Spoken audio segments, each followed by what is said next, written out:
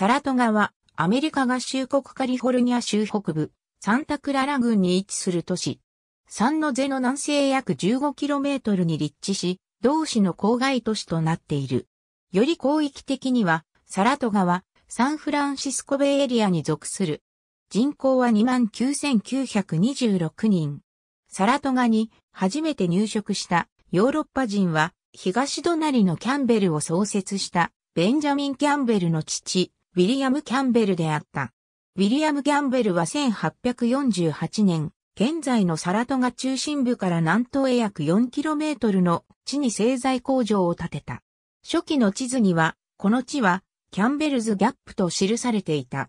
1851年、工場を沈借していたマーティン・マッカーシーは、サンタクララバレーに有料道路を建設し、現在のサラトガの元となったマッカーシーズビルという名の町を創設した。料金所は、現在のビッグベース運営とサードストリートの交差点の近くにあった。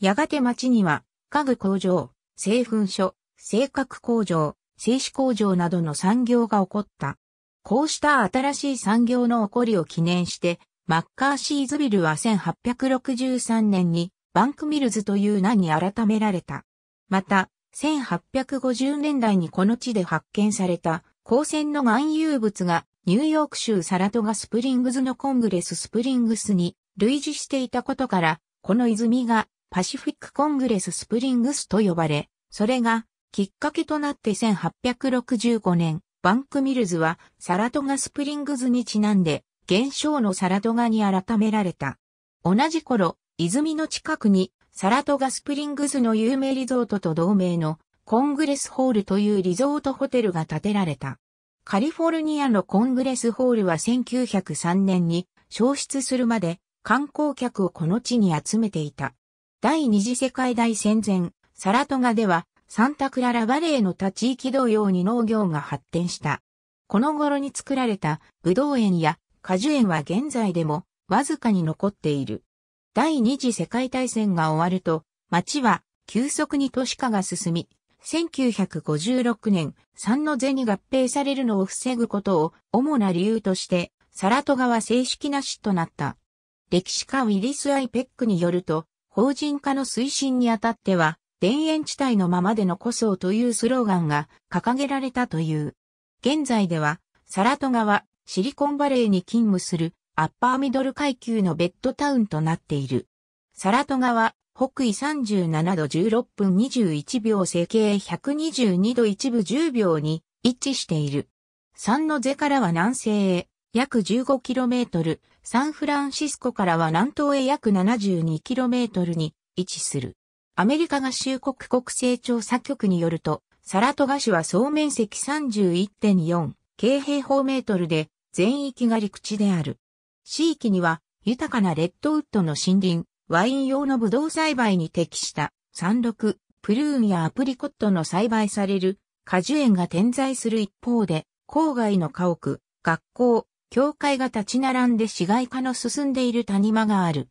市中心部のビッグベースンウェイ沿いはビレッジと呼ばれる。市の北部にはブルックビューやブルーヒルズの各地区が、西端にはマウントエデン地区が、そして南西端にはコングレススプリングス地区が広がる。市中心部のすぐ北東、サラトガアベニュー、サラトガサニーベールロード、コックスアベニューに囲まれた地域は、ゴールデントライアングルと呼ばれている。ゴールデントライアングルの北東には、サラトガウッズ地区が、東には、キト地区が、そして南東には、フルートベール地区がそれぞれ広がる。視聴者は、フルートベール地区内、フルートベールアベニューとアレンデールアベニューの角に立地しており、市中心部からは北東へ約 2km 離れている。サラトガはカリフォルニア州法の下で成立している市であり、市の組織及び権限は州法によって定められている。サラトガはシティマネージャー制をとっている。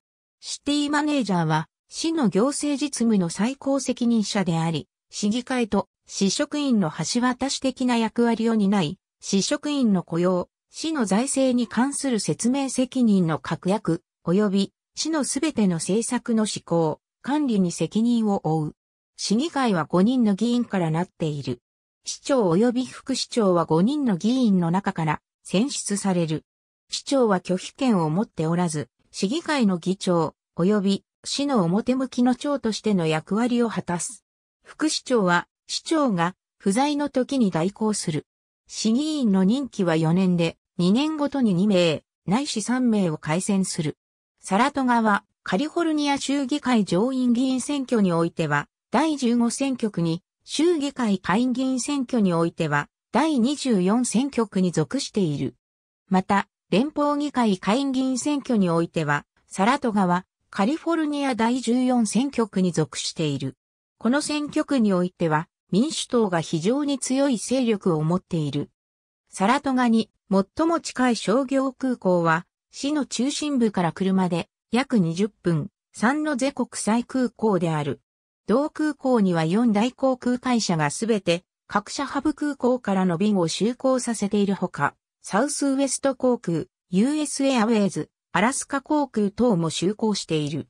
しかし、同空港はサンフランシスコベイエリアの3空港の中では最も就航便数が少なく、国際線はアラスカ航空によるグアダラハラ及びカボサンルーカスへの便、及びボラリスによるグアダラハラへの便のみである。また、サンフランシスコベイエリアの他の2空港、サンフランシスコ国際空港及びオークランド国際空港も、共に車で1時間以内の距離に立地している。特にサンフランシスコ国際空港はユナイテッド航空のハブ空港の一つで、サンフランシスコベイエリアの第一空港であるのみならず、国内外から多数の直行便が就航している西海岸有数の大空港である。市の北東部には、三のゼの環状線である高速道路規格のカリフォルニア州道85号線が北西南東方向に通っている。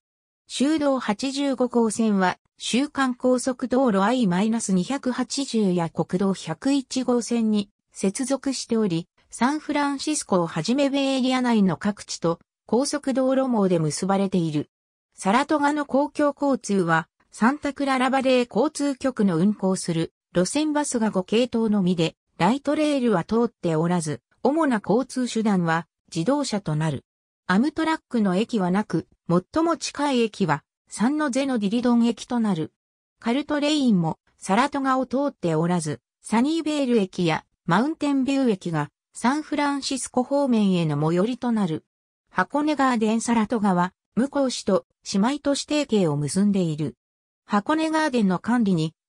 なお、サラトガの姉妹都市は、向こう市一都市のみである。ありがとうございます。